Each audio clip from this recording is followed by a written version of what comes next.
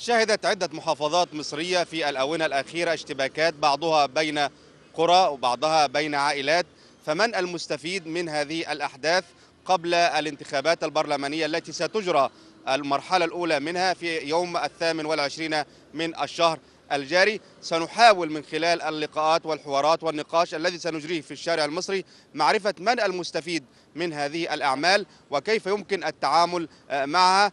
قبل الانتخابات حتى يمكن تأمين الانتخابات وعبور بها إلى بر الأمان. يعني من وجهة نظرك من المستفيد من هذه الاشتباكات والمواجهات التي نراها في بعض المحافظات المصرية؟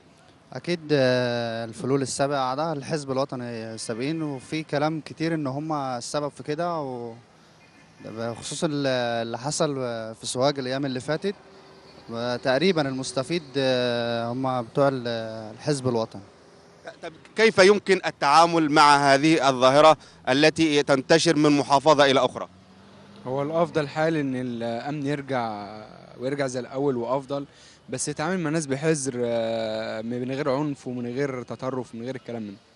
وهيحد من موضوع البلطجية والانفلات الأمني والكلام ده. كله يعني يعني هل تعتقد بالفعل أن فلول الحزب الوطني وفلول النظام السابق هم الذين يقفون وراء الاشتباكات العائلية والاشتباكات التي تقع بين القرى وبعضها البعض في محافظات الصعيد وأيضا في محافظات الدلتا؟ بهذا الشكل اللي إحنا شايفينه النهارده ال- ظهور ظاهرة البلطجة والانفلات اللي إحنا عايشين فيه آه، الفلول وفلول الحزب الوطني هم المستفيدين والمجلس العسكري لذلك إحنا بن- بن- بنخاطب السيد المشير محمد حسين طنطاوي بإعادة ضبط ال- ال- الوطن بطريقة أحسن من كده. لأن الظاهرة ال- اللي إحنا شايفينها قدامنا ظهور في الترشيحات كل بقايا النظام السابق هي اللي موجودة حاليا على الساحة وهي اللي ظاهرة على أغلب قوائم الأحزاب ال- حتى المعارضة والقوى ال- الوطنية اللي موجودة. برضو المفروض المشير طنطاوي ياخد وقفة حاسمة ضد مع قانون الغدر أو قانون العزل السياسي عشان البلد تنضف وتتطهر لأن بقى الثورة ما عملتش حاجة. طب إزاي يمكن آه، يعني وقف هذه الاشتباكات أو آه، منع أي اشتباكات قد تحدث في المستقبل حتى يعني ندخل على الانتخابات ويعني تكون الأمور قد مهدت للانتخابات من الناحية الأمنية؟ يا سيدي الفاضل ال- الدور في إيد المجلس العسكري. المجلس العسكري هو اللي قادر على حسم كل هذه الأمور. قانون الغدر طبق لا مكان لأي فلول. لا مكان لل- لل- للي نهبوا البلد وسرقوها وخربوها بالوضع اللي إحنا البلد بتقع.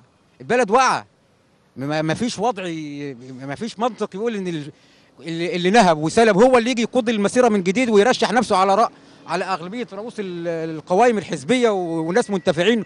وال وال وال وال ال- ال- ال- أنا أنا أشك في إن الانتخابات دي تكتمل. شكرا شكرا. اشك يعني, في الموضوع ده. يعني إلى أي إلى أي مدى ربما الفلول وبقايا النظام السابق هم من يقفون وراء آه، الاشتباكات والمواجهات التي تخطت آه، حاجز العائلة إلى حاجز القرى بين القرى بعضها البعض؟ والله أنا أقول لحضرتك إن أنا طبعا أنا كنت عايش في ليبيا فترة طويلة ولسه جاي قريب لكن أعلم إن فلول النظام السابق وبقاياه كثيرة جدا ومنتشرة في كل قرى ومدن مصر وبقاعها. وهم لهم لهم من الدسائس ومن ومن المؤامرات ما يستطيعون أن يحكوه بدقة تامة لدرجة إن هم يقدروا فعلا يعملوا مشاكل كتير جدا في البلد. فيجب آه، سرعة إصدار قانون العزل السياسي أو قانون الغدر كما كما يسمى سواء عزل أو غدر. وأرجو إن يبقى في آه، وعي سياسي عند المواطن المصري بحيث إن هو يحاول يفرق ما بين ال- الصالح والطالح بالنسبة للوطن. يعني اذا هي ليست مسؤولية المجلس العسكري والحكومة فقط ولكن أيضا مسؤولية المواطن العادي. نعم نعم. المواطن المصري لا إحنا بنراهن على المواطن المصري. المواطن المصري لازم يكون عنده وعي ويدرك بحسته حتى ال- ال- الحاسة ال- البديهية اللي عنده من هو الصالح ومن هو الطالح بالنسبة وما عادش يبص لمرحلة لل- لل- لل- لل- للمصلحة الشخصية. يبص لمصلحة الوطن قبل المصلحة الشخصية. شكرا شكرا.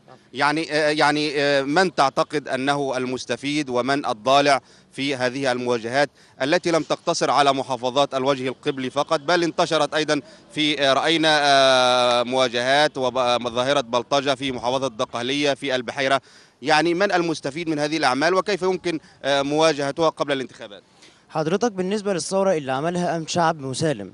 عملت الثورة كله كان يد واحدة وقلب واحدة إلا إن في الأونة الأخيرة بسبب الفلول هم أكتر الناس مضرورة من الثورة. فعلشان كده هم بيحاولوا يعملوا أي حاجة إن هي تعطل مصالح الثورة أو استمرارية الثورة أو ال- ال- المطالب الثورة. فعلشان كده إحنا بنقول إن الفلول هم ال- الجانب الوحيد المستفيد من البلطجة. ذلك لأنهم بيبعدوا ال- المحاكمات عنهم وبيأخروا الوقت بحيث إن الشعب يهيج فالشعب ينشغل مع نفسه في مشاكله الداخلية بعيد عنهم. فلذلك إحنا بننصح كل المواطن المصري أو باسمي أو باسم كل الشباب إن إحنا لازم نقف ونفهم إن ال- الفلول الحزب الوطني هم أكتر الناس المستفيدة. هم عملوا فينا فساد وسرقوا وعملوا ونهبوا دلوقتي مش يعني الثورة دلوقتي ضدهم. فأكيد هيحاولوا إن هم يمنعوا كل حاجة عنهم بعمل أي حاجة بالمشاكل بيننا وبين بعض بما- أي حاجة هتقدر إن هي تبعدنا عن بعض وتبعد الوطن المصري عن وحدته. شكرا جزيلا. من ترى من وجهة نظرك المستفيد من المواجهات والاشتباكات التي تقع في بعض في بعض القرى في عدد من المحافظات المصرية؟ أنا أرى الحاجات دي كلها مستفيد منها اللي هو الحزب القديم. الناس اللي قدام هم اللي مستفيد منهم. إنما الناس الجداد دولت ناس عايزين لسه وعي وعايزين قرار عايزين عايزين يعني عايزين ناس تفهم إيه الأصول دي. طب إزاي نتغلب على هذه الظاهرة؟ في المجلس العسكري المجلس العسكري يقوم بحملة ويقوم بنظام تاني غير ده. يعني إحنا دلوقتي في نظام في الثورة يعني مش نظام الثورة. شكرا جزيلا. شكرا شكرا.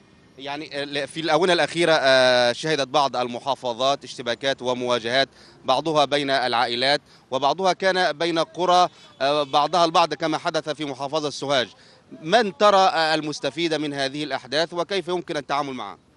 طبعا هو في كذا حاجة. هو طبعا يعني الكلام ده كان زمان قوي يعني مش أول مرة يحصل كان من أيام الفلول وكده. وأيام طبعا أمن الدولة. كان أمن الدولة طبعا مستفيد إن هو كان بي- بيوقع بين العائلات وبعضها عشان بيبقى هو يعني أنت يعني يفرق تسد يعني. إن هو يفرق بين الناس وبعضها الناس تتخانق فهو طبعا يبقى على وش الموضوع يعني. دي حاجة طبعا امن الدولة ده كان موضوع طبعا ولسه طبعا مكمل دلوقتي مع الأمن الوطني. حاجة ثانية طبعا الموضوع الفلول طبعا والانتخابات مجلس الشعب وكده فدي برضه مصلحة ثانية حاجة بقى حاجة حاجة ثالثه إن هو يعني إحنا برضه عندنا لسه الموضوع الثقافة برضه والتعليم لسه برضه قليل شوية محتاجين برضه إن شاء الله يعني بعد كده شكرا جزيلا. يعني من وجهة نظرك من ترى آه، المستفيد من المواجهات والاشتباكات التي شهدتها بعض المحافظات المصرية؟ وكيف يمكن منع مثل هذه الاشتباكات في المستقبل ومواجهتها بحزم وصرامة؟ الاستفادة الأولى والأخيرة بالنسبة للفتن الموجودة في مصر هي بالنسبة للطائفة القديمة اللي هي من عهد مبارك اللي آه، ما زالت موجودة. بس بالنسبة بقى للمجلس العسكري المجلس العسكري الناس مفكرة إن المجلس العسكري من يوم وليلة مسك حكم. انت فاهم إزاي؟ يعني مش هيقدر يمشي البلد زي ما هي عايزة. بس هي الموضوع كله عايز صبر وكله يشوف مصالحه وإن شاء الله ربنا يسهل وتكون آه، كل حاجة في نجاح الثورة بإذن الله. في الآونة الأخيرة شهدت بعض المحافظات المصرية مواجهات واشتباكات بعضها كان بين العائلات وبعضها كان بين القرى. آه، فمن المستفيد من هذه الأعمال وكيف يمكن مواجهتها في المستقبل؟ هو بس بداية حضرتك اللي بيحصل ده أصلا في بعض مناطق الصعيد وكده ده كان بيحصل قبل كده لكن ما كانش مسلط عليه الإعلام. هو في بتخش فيه عادات وتقاليد الإطار والحاجات دي. والزيادة الزيادة رد الفعل بيبقى يعني زايد عن حده ساعات. لكن هي ما كانش موجه عليها الإعلام. دلوقتي بقى بعض يعني بعض وسائل الإعلام بتحاول توجه ال- ال- الصورة على بعض الأحداث دي وتبدأ تحور الموضوع وتستخدمه في إن هي تخدم أغراض مش يعني مش مطلوبة في الوقت الحالي. تبرز فكرة الفتنة الطائفية آه، تبرز فكرة ال- ال- الانفلات الأمني وإن الثورة ما جابتش نتيجه وإن مش عارف آدي الثوار محاوله بس آه، روح آه، يعني الضعف والتصبيط من المستفيد من هذه الأمور؟ آه، الناس اللي ضد الثورة. أي حد ضد الثورة أمن الدولة الحزب الوطني. إحنا شايفين دلوقتي في الانتخابات كلها ثلاث أرباع بتوع الحزب الوطني نازلين تاني ومسميين أحزاب تانية ويعني ولا وكأنك يا أبو زيد ما غزيت. طب إزاي نتغلب على هذه الظاهرة؟